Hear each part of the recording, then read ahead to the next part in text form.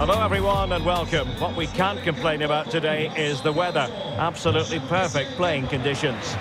I'm Derek Ray and I'm joined for expert analysis by Stuart Robson. And the general feeling is we should be in for a spellbinding occasion. Stuart, what... And it might be...